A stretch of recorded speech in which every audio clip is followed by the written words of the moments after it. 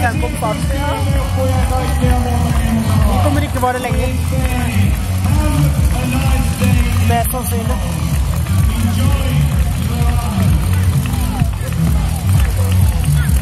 Der